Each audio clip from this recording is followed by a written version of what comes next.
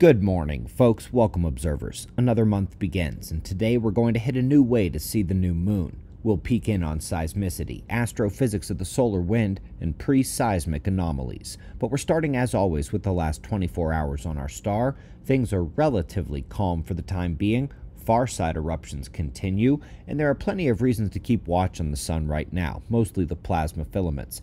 You can see them as the thin, dark ropes of plasma here wiggling around in the corona, and they appear similarly in 304 angstroms here. This is ionized helium. The golden bronze colored views at the start were returns from ionized iron. These filaments are on watch just in case they do what several others have done in the last week erupt.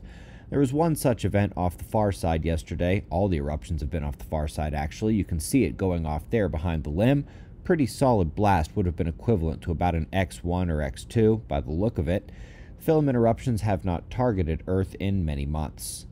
Quick look at the solar wind shows we're still inside the elevated stream near 700 kilometers per second, but that stability, even at the higher pressure, is adjusted to by Earth's field and geomagnetic conditions are steadying slightly.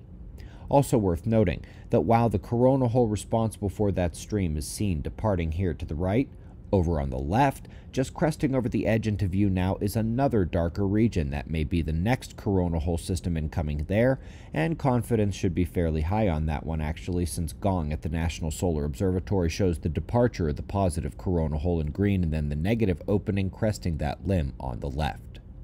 New coronagraph from NOAA pulled a nifty trick yesterday since it's not at L1 a million miles upstream in the solar wind, it's in orbit around the Earth, it can see the Earthshine reflection off the new moon. I'd actually forgotten about this, but it was something that several keen astronomers were discussing around the launch time. Very, very cool.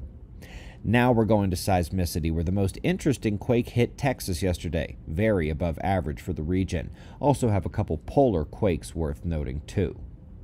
The top stories today begin here. Ever more reason to look at the electric potential as an accelerator in the solar wind. This is almost certainly a critical aspect of the process. The Alfvén waves coming from coronal holes seem to suggest it rings true, and here we see the team actually trying to work around that electric force and conclude they cannot do so. Finally, folks, a revisiting of the quake that actually started it all in terms of pre seismic anomalies. It was the Demeter satellite that caught weird atmospheric electricity anomalies for days over a region in China, and then disaster struck. New paper here confirming the veracity of that data that kicked off an entire new field of science.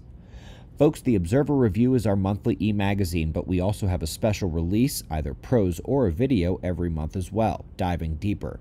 This month's special release is video number four in the disaster discussions. It's coming to all subscribers tomorrow. The next monthly issue is coming in two weeks. Sign up at the link below, then bookmark your archive page where you can access everything we've ever sent out instantly. Greatly appreciate your support. We'll do this all again tomorrow right here, but right now it's 5:45 a.m. in the new Valley of the Sun. Eyes open, no fear. Be safe, everyone.